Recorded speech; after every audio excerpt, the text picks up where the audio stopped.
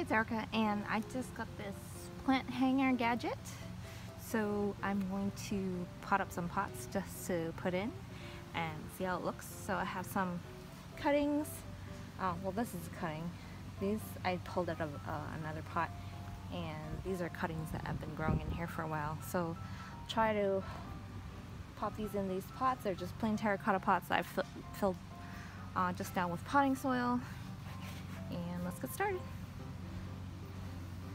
Um, so I think these stems are too long, so they grow and the bottom leaves just drop off. So it has a pretty rosette at the top. So I'm just gonna take cuttings from this and pop them in.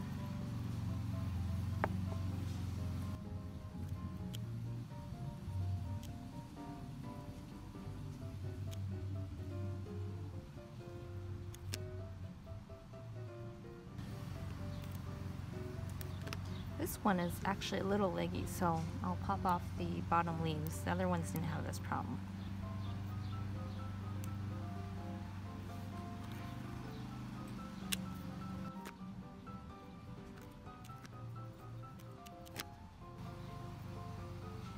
Okay, the first one's done.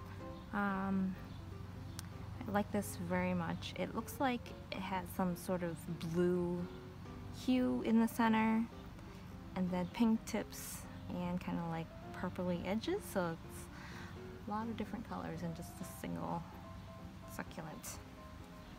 Don't have the name for it but I think I remember getting something called like the blue pearl so maybe that's it. I'm not sure.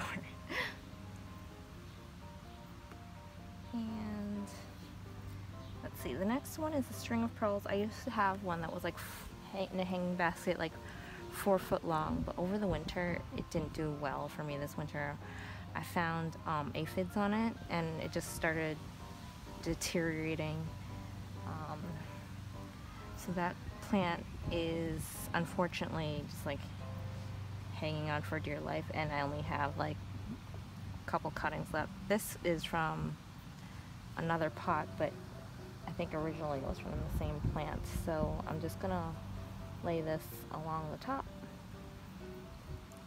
I'm not to drape it over the edge yet. I'm just to have it fill in the pot and over time when the beets you know start growing then it can drape itself over the edge but uh, I just want to have it fill the top because I think it looks bad if the uh, top is just bare and empty. I like the filled in look.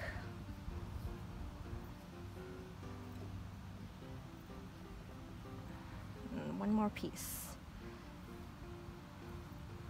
Let's see if I can get it in this empty spot right here.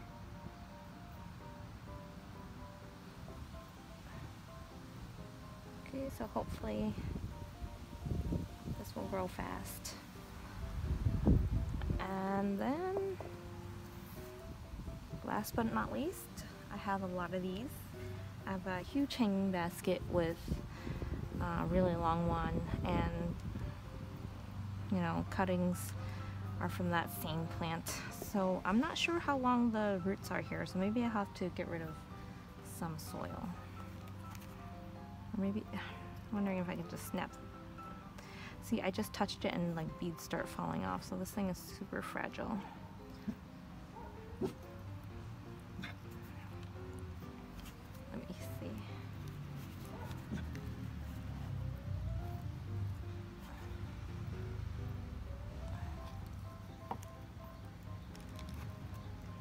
so it looks like it has a very shallow root system, so that's good.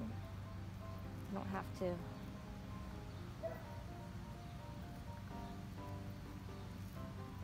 get rid of too much soil. So I'm gonna get rid of some of the soil at the top here. Oops. Good thing I'm doing outside, making a mess, as you can see. And I'm just gonna plop this in here and fill in the edges.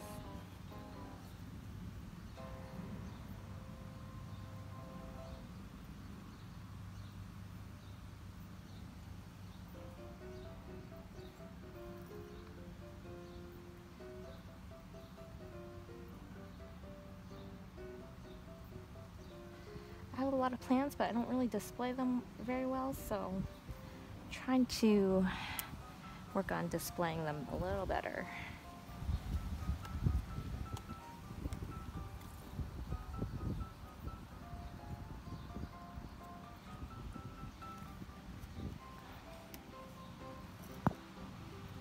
I hit the camera. Sorry about that.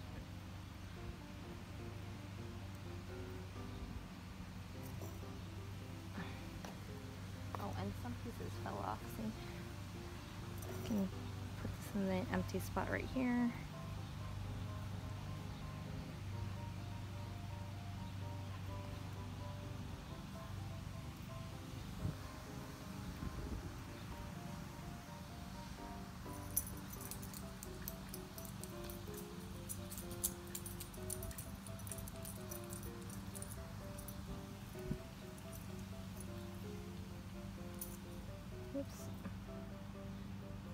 Hard time. These are so small and fragile. I guess that's good enough.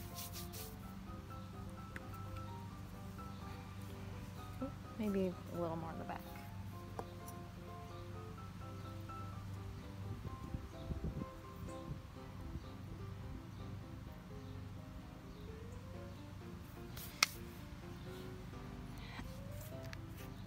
Look at mess. I'm gonna just hose it down later. But um, here you go, three of the plants. Um, there's tags on it that I'll take off later. But so here's the hanger, and basically there's a hook on top. It's connected to uh, three rings. So the plants go in each ring.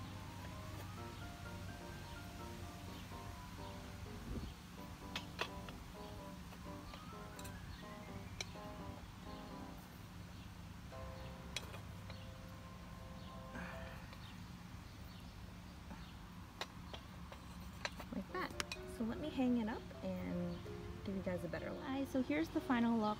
Um, I'm not going to put it under this tree, but uh, it was an easy place to just find somewhere to hang it for now. But uh, you can see that the three pots hang up and they're very cute. Like just floating right here. So see if I can find a better place for this. Thanks for watching. Hope you guys enjoyed the video. And give us a thumbs up. Remember to subscribe and have a beautiful day. Bye-bye.